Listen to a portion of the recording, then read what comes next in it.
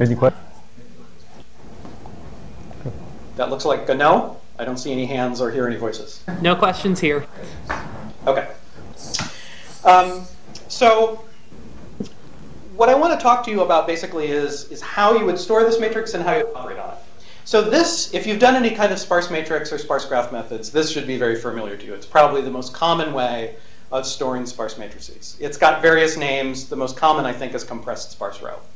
Essentially, the idea is take all the non-zero entries in the matrix and lay them out linearly in row major order.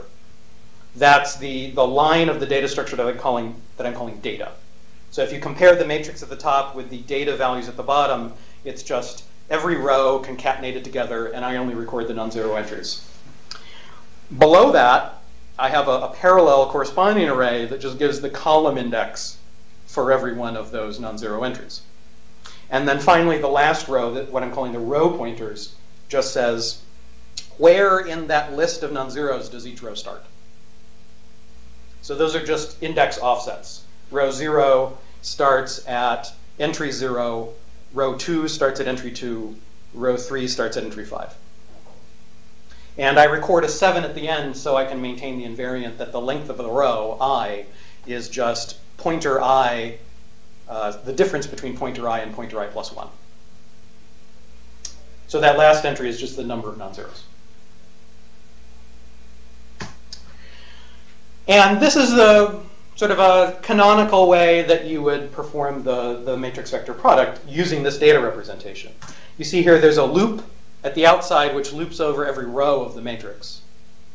And then for every row, we're going to figure out where it begins and ends in that data layout I created. And then I'm just going to loop over every entry in that row and accumulate the appropriate non-zero, which here is called data jj, times the appropriate entry of x.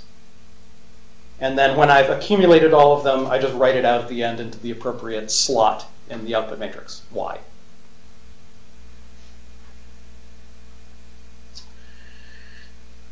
So the natural question is how can I take this sequential code, which if, if you think about the program at all, or if, if you're familiar with the problem at all, is probably fairly easy to come upon.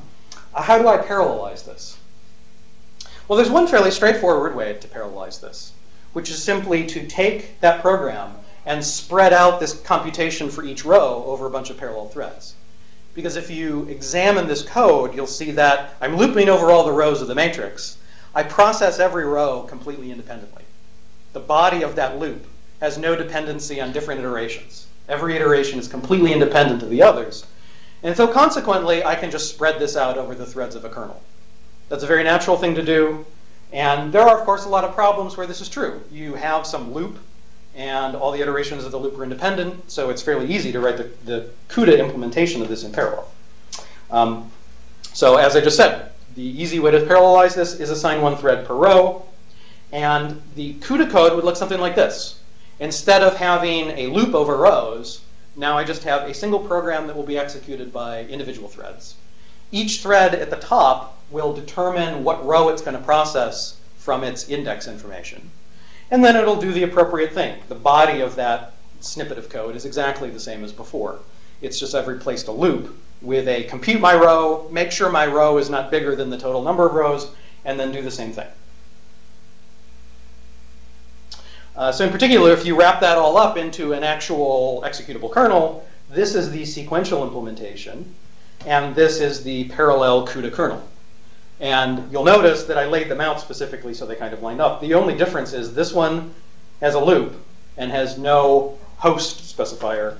This one has a global specifier and it computes what row it is at the beginning instead of having a loop. And this, of course, is also the sort of thing that you would do with OpenMP as well, if you're familiar with that. So if I was parallelizing on the CPU with OpenMP, I would be very tempted to just put this pragma omp parallel for before that loop, which tells the OpenMP system to spread that loop across many threads across all the cores of the machine. And the CUDA kernel basically does the same thing. The only difference between these is sort of the, the syntax or mechanics of, of how you, you tell the system that you want to just take this parallel loop and spread it across many threads. So this is the obvious thing to do, I would claim, at least once you think about the problem at all. And um, of course, you should always do the obvious thing first. You know, typically the best programmer is a lazy programmer. And that means you should always do the obvious thing first, because who knows? The obvious thing might actually be the right thing. In this case, the obvious thing actually has some problems. Uh, it, it suffers from both execution divergence and memory divergence. It suffers from execution divergence because different rows will have different number of entries. And so consequently, the amount of work per thread, which is proportional to the number of non-zeros per row, can vary. And this is where the point I made earlier about uh, you, you have to understand the parameters of your data comes in. Because if I know that all my rows have roughly the same number of entries, then I don't even care about this particular issue. But if I know I'm processing, say, power law networks where I have an extreme distribution of row lengths and they can vary by orders of magnitude, then I care about this a lot. The other problem it has is memory divergence. Uh, you get very little coalescing in this. Um, if you think about what's happening, uh, the non-zeros of every row are laid out in this linear order. So here the blocks in this diagram uh, every block is, say, a non-zero entry, and the colors are just alternating to show you the, the different rows. So in the first iteration, these different threads in a thread block are going to access the first non-zero in their row, and then the second, and then the third. And if you look at this diagram, what you see is that the the uh, stride, or this, the memory access spacing between consecutive threads, is going to be a function of the number of non-zeros per row. And unless the number of non-zeros per row happens to be 1, that means they're accessing at some stride that spreads out their accesses, which means they don't get a perfect memory access pattern. So they will take a bandwidth penalty for doing this. So if the uh, row length distribution is reasonable, this is actually the main problem with this kernel, that it has a divergent access to memory. So the way we'd like to fix that is to somehow change the kernel to get a better memory access pattern. And I'm going to, show, I'm, I'm going to mention two ways. Uh, the first which is actually probably the thing that you would do if you were writing CPU code, is vectorize this kernel. Instead of having one thread process every row, I can have k threads process each row by iteratively pick up k values, k consecutive values, do the appropriate multiplication, reduce amongst them, and then just repeat. Uh, for those of you who are fans of vector machines, this is frequently called vector strip mining. Although actually I don't know why it's called strip mining, but that's what people call it. Uh, and typically, you know, you could pick any kind of k, but probably it makes sense to pick some power of 2 that's up to the SIMD width of the machine. So when I say k, I basically mean power of 2 between 2 and 32 in this particular case. But th that, that's kind of an implementation detail, an architecture-specific detail. The key thing is you could take some number of consecutive threads and just have them iterate consecutively over the rows of the, the elements of the matrix. And then now I have consecutive threads accessing consecutive memory locations, which is good. That's what I want. So this will be a, a good strategy if I have a lot of non-zero entries per row and they're all reasonably balanced. Right? The key question here is, are there many more than k entries per row or many fewer? If there are many fewer, I'm actually doing a lot of wasted work. If there are many more, then I'm actually getting good utilization, and this works well. Another option, which again uh, comes straight out of the way you would program a vector machine like a Cray, is to use a slightly different storage format, which for historical reasons is usually called ELL or ELLPACK. I believe it's named after a particular Fortran code where this, this occurred. Uh, so the idea is this. Take, take your matrix and quantize every row to have exactly k non-zeros per row. Pick k so that it's big enough that every row will actually fit. And then just lay out all the non-zeros in the matrix into each one of the rows of this matrix. So since I've quantized it to k, I'm going to actually build a dense matrix like the one on the right. And I'm just going to pad with you know, whatever invalid entries I want with zero, say. Um, the non-zero values where there isn't actually an entry in the matrix. So this will, of course, be bad if there's high variation in the row length, but it's perfectly reasonable if I have completely equal lengths everywhere or small variability. Now, the reason I want to do this, this quantization, is that once I've done it, as I said, I, I get what amounts to a dense matrix for both the values and the column indices that I'm recording, which I'm showing here on the slide. And because it's dense, I can transpose its layout and lay it out in column major order rather than the row major order that I used with the, the CSR format. And this gives you a perfect memory access pattern. Because if you think about it, if I still do this one thread per row, the first step, they will all access the first column of their row, which by construction are all contiguous because I've laid out the data in column major order. And then they'll all access the second element of their row, which again, they're all contiguous. So I get a perfectly coalesced memory access pattern. I get perfect uh, layout, but at the expense of possibly wasting work. In this particular diagram, you know, each one of the stars in those matrices are you know, invalid entries that I'm either wasting space and or work to process them. And uh, you know, as I said, I don't expect you to completely digest this piece of code, but the reason I put it up here on the slide, first of all, is so you can go back and look at it later if you feel like, but also to show you that it's not that big. The, the kind of transformation I've, I've just told you about is pretty simple to do. And in fact, this, this particular kernel goes a little bit further than what I just described.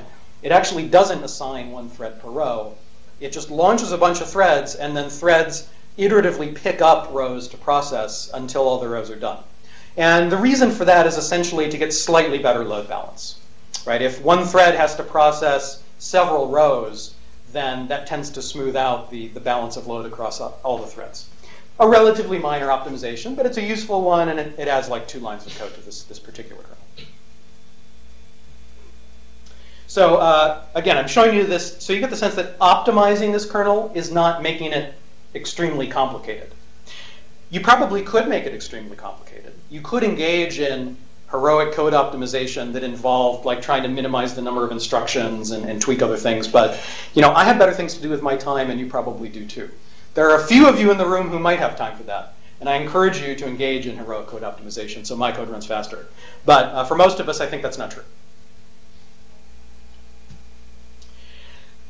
The last approach I, I want to briefly mention, and which I'm not going to show you the code for, is another strategy, one which exposes, in fact, the maximal amount of parallelism, would be to use a slightly different format, which, which we call coordinate format. Some people call triplet format. Essentially, I can just, for every non-zero entry in the matrix, um, lay it out in row major order again, again, record every column index, and now just record along with that the row index of every single non-zero. Right, so I essentially, if you look at the columns of those three matrices on my slide, those are triplets of ijx values, which tell you one non-zero in the matrix. And I, I, can actually, with this representation, easily write a kernel that assigns one thread per non-zero, right? Not one thread per row, but one thread per non-zero. Each thread performs a single aij xj product and then write, uh, performs a big segmented reduction to compute the result per, per row. And as I said, I'm not going to show you that code. You'll see the URL later. You can go look at the code. The reason for doing this is that this particular kernel is largely insensitive to the row length distribution because it's essentially spreading the work out across all the threads of the machine. It's essentially statically scheduling the work so that it's relatively load balanced. It also exposes the maximal parallelism. But that's actually not a good thing, as, as I'll show you in a second, because the cost of coordinating the results from all these threads, namely, every single thread does one multiply add, and then has to do a relatively expensive segmented reduction. The cost of that coordination actually makes it perform worse than uh, the, other, the other kernels. The format that